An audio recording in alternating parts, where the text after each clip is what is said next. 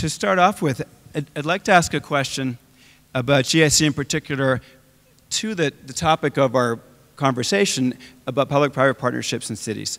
So GIC has extensive experience investing outside of Singapore in projects and in cities. It seems like the time frame of the investment, the characteristics of the cities must matter a lot. Can you tell us a little bit about how GIC approaches its investments in cities? Uh, yes, I, I think indeed uh, time horizon and characteristics of the cities matter a lot. Uh, in GIC, real estate, we approach our investment with a long-term horizon. Uh, and that's primarily because the nature of our funds are long-term. Uh, and obviously, as a manager uh, of our clients' funds, uh, we look to we look to harvest a long-term return, uh, and our mandate specifically is uh, to harvest a long-term return that is above global inflation. Um, and so, if you if you look at it from that perspective, for our investments, uh, around the world globally in real estate, we have gravitated towards major cities uh, and also to cities that are on a growth trajectory.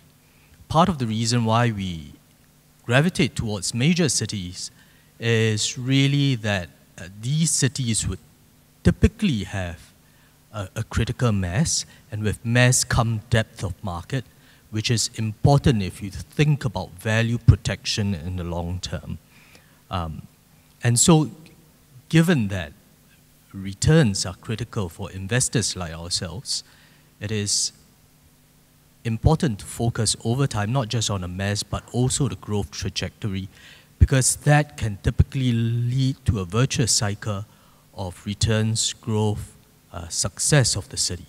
Um, so that's how we typically look at it. And as we look at that, therefore, uh, the things that we typically consider in addition to mass uh, are really, um, secondly, the uh, uh, uh, infrastructure in the city. That's typically quite important. with mass comes its own issues, and one of those issues can often be congestion as well as overcrowding. And if you do not have adequate infrastructure, uh, and to a large extent seamless infrastructure and planning, over time, um, it can be an issue.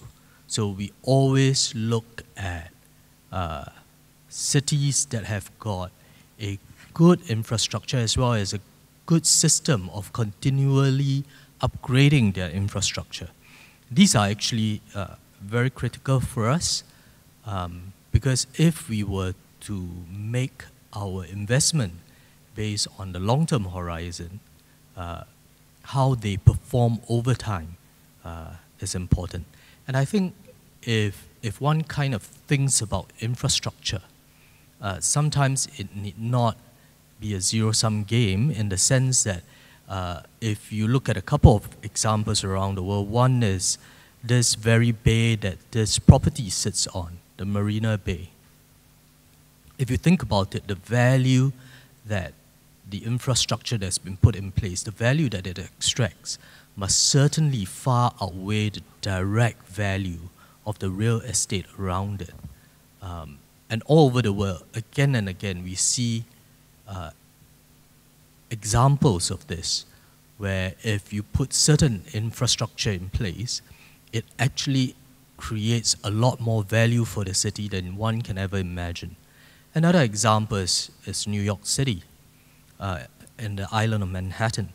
If you think about it, the Central Park is a huge piece of real estate, very valuable, but as a park, it provides that breathing space for that dense population, and I, I think it adds so much to the city over the long term.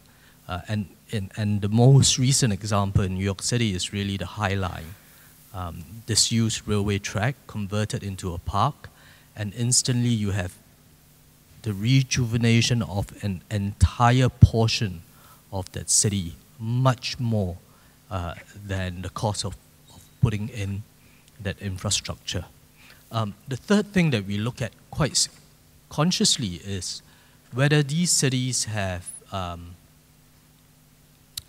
transparent as well as good regulation.